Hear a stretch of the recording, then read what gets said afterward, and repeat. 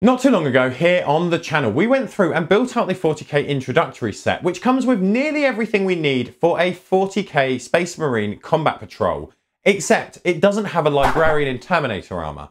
Now, this model is relatively convenient and easy to get due to it coming out in a lot of things like Leviathan when the box and the edition launched. So what I'm going to do is give mine a little bit of a conversion to make it my own and also bring you along on how I did that so that you can see some tips and tricks to make some nice simple conversions that change the look of your characters. To do this, I'm going to need a librarian, so I jumped into one of my Leviathan sets, pulled out an unbuilt librarian and went from there. And the other thing we're going to need is one of my favorite kits for converting Space Marines, and that is the Grey Knight boxes. Ideally, I'm going to be using the Combat Patrol, which has a vast amount of different pieces and everything we need for some nice juicy conversions. Starting off this project, we can build the Librarian as per the instructions. However, we are going to want to stop just prior to adding the hands onto the model, as the hands are the bit that we are going to be changing for an easy conversion. Firstly, for the right hand, the hand is sculpted onto the wrist, so we're going to have to carefully remove it. So we just get a craft knife and slowly and carefully cut away at the hand and remove it from the wrist. But once we've got the wrist away, we can then go in and file smooth the attachment point to make sure that it is nice and flush. With that done, we can glue this part back into place, which means that we have an entirely built librarian just without any hands. Conveniently, a lot of the Grey Knight kits are still built in the old style of Space Marines and GW kits and sprues, which means that we have a fair amount of pieces that are just hands, wrists, and weapons. So for a conversion like this, where we're going in and doing a weapon swap, they are incredibly convenient for Space Marines. Personally, on this one, I wanted to increase the length of my shaft. Personally, on this one, I wanted to increase the presence of the weapon. So I went for a larger hilted axe style blade, mainly the long shafted Nemesis blades from the kit. We can go diving through the kit looking for a suitable weapon. Starting with the left hand, I find this really nice option of a hand holding a demon's head. So we can take a little bit of glue, stick that in place and leave it to dry. This will be brilliant for adding a little bit of extra color later on on the model. Then we can move on to tackle the right hand. And here we're going to be using a long shafted Nemesis weapon, which is conveniently held with only one hand. So this is just a simple process of gluing this hand in place of the original and leaving it to dry. Now at this stage, the model is nice and I quite like the presence and style, but if we look at that blade, we do see that it is distinctly a Nemesis blade. So what I thought would be good is to rebuild the presence of the librarian aspect by putting the axe head from the original kit back onto this one, and the reason we waited till this point to do that is because that way we can ensure that we've got the right planes and angles and that when we put the axe head on, we can be sure of the positioning of the overall model. Once the hands are securely glued in place, we can then actually do the surgery on the axe head. And for this, we're going to want to do a minor amount of head swapping just by snipping off the head of the axe and then going in along the shaft of the blade and cutting the blade off of the Nemesis weapon. Then, using some glue to stick the axe head in place, I would suggest using plastic glue for the extra security here. We're going to put the axe head in the direction we want and secure it in place with that glue.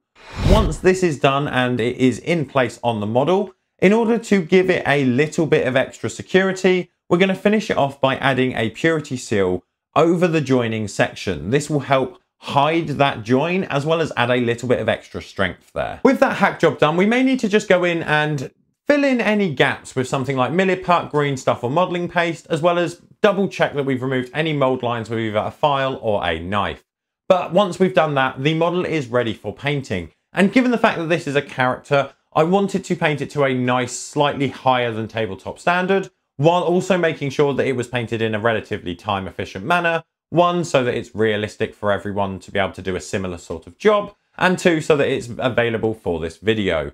So in order to do that, we are going to want to start off by giving it a nice undercoat of red. Once we have a dried undercoat, we can grab a paintbrush and a very dark blue and proceed to do a light overbrush or a very heavy dry brush across all of the model's armor. The intention here is to shift the model to a purplish reddish tone, giving us the start of a nice transition. This can then be followed up by layering in some dark blue, where we want to make sure we pick out all of the larger flat panels leaving the purpley reddish shades in the recesses. This can then be followed up with a round of highlights using a medium blue. This will be used to pick out all of the main edges and the most raised areas on the model. We are able to be slightly messy here, however we do want to try and ensure that we get a relatively okay last round of highlights if we want to be in the best stead going forward. However, if it is a little bit messy, don't worry, we will be able to fix that with future steps. Once we've done that highlighting, you may be looking at the model and going, this looks ridiculous. It's got blue on the tops and then it's got very stark reds in the recesses. This looks awful. But don't worry, trust the process because we're going to be fixing that up in the next couple of steps. And those next steps start with the application of a thinned blue glaze wash. Ideally, this is going to be slightly thinner than a normal wash or contrast, but we want to make sure that we cover all of the armor with this wash. Waiting for it to dry completely and then going in and applying a second coat. This will start to move all of those bright stark reds towards a nice deep dark rich purple as well as set the stage for our next couple of steps which will be taking the medium blue from earlier and going around and reapplying this to all of the edges as a final round of edge highlights. Finally, we can apply one more layer of blue glaze to tie all of these past steps together, leaving us with a lovely transition from a deep dark purple up to our brighter blue highlights. And naturally, if you want, you can push these a little bit more with some additional lighter blue highlights if so desired. Now that is essentially the armor done, apart from all of those various insignias and engravings all across the armor. But we're going to be dealing with that in a very nice simple trick later on, so stay tuned for that. In the meantime, we're going to go look at some of the other smaller details across the model. For some of those other details, we will need to block it in with some black. This is going to be any area that we want metallic, as well as any area that we just essentially want black. So I'm thinking of things like the suit joints, leathers, and details like that. For all of the black elements, we want to follow up this black base coat with a simple highlight of a desaturated blue, catching the various areas, all of the sides, edges, and on this guy's schoolbook, for example, we can catch and do in some textured lines just to give a rough highlight surface. Once we've got all the highlights down where we want them and they're completely dry, we can then do a quick black wash over all of these details which will darken them down, bring them together, and we can move on while it dries. A lot of the smaller areas got my normal array of techniques to get them painted. I looked at the purity seals here and generally I quite like the sort of parchment papyrus coloured paper instead of bright white purity seals. And I think the red will pop well against the blue armour. So in order to start on the purity seals, we're going to be giving them one simple base coat all in one colour. That is because both of these areas are going to be getting the same base coat in reddish brown. Before we go around and do the reds, which is the waxes, and we're going to do this with a really simple red highlight on all of the wax areas. Before we go around, take a bottle of warm flesh tone and start to highlight the parchment using some scratchy highlights. Then once we've put that down, we can slap a brown wash across all of the areas, letting it dry and making sure to mop up any heavy pooling.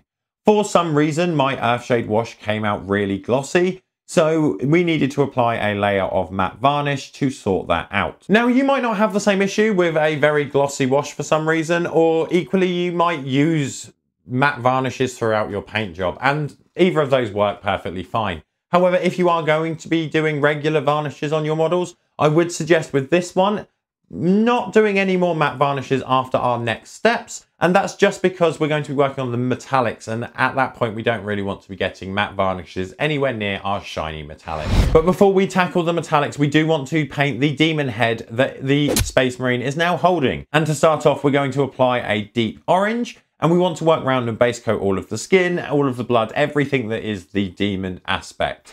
Then we can go around and give this a quick red wash to add some shading and also deepen the areas and all of the sculpted details before we've come in with some final bright red highlights using the same red as we used for our wax seals earlier. We can then highlight all of the head as well as some of the blood areas on the model. By using these colors, we are able to help the consistency across the model. We're not gonna have any jarring differences because we're using different reds on the head. And the red that is present on the wax seal is also present in the head, so there's a nice harmony across the entire model. That does mean that we can move on to some other areas. We're going to be tackling the blood. But if you are a person that likes to matte varnish, this is the stage that I would do the last matte varnish because we're going to be coming in with a couple of effects and metallics in a moment. For the blood, we're going to be finishing it off by taking a light skin tone and highlighting all of the blood drops, going around picking out the edges of the trails and the bellies of the drops themselves. This can then be followed up with a green wash, which should slightly desaturate the reds while tinting the skin tone we've just applied. This is all in prelude and build up to the last layer, which is a thick application of a green blood effect all across the sculpted blood areas. Personally, I really like blood effects for tabletop stuff, and I've even used it in some dioramas and displays and things like that. However, I've noticed that the green one that I've got particularly is very translucent, which can be good in certain situations. But because of that translucency, that's why I wanted to build up this sort of underline effect through the various layers on the blood. With that done, there is another little element that we needed to tackle, which is a bugbear of mine, which was the face. And Games Workshop decided to make it that the face doesn't fit between the Psychic hood and the Terminator armor, so I couldn't paint it in a sub-assembly, which is what I would normally do. So I just didn't deal with it, basically. I slapped some skin tone on there, I slapped a wash on it, and I just ignored it. The, you can't really see it anyway, given the design of the model. So I'm not going to waste your time anymore with that when we've got some metallics that we can get to now. All of the metals got a very simple process. So things like the emblems, chest iconography and things like that got a original layer of a dark metal, either in gold or silver, followed up by a brighter layer of the same tone. So for the silver, we went for a lighter silver. For a gold, we went for a lighter gold.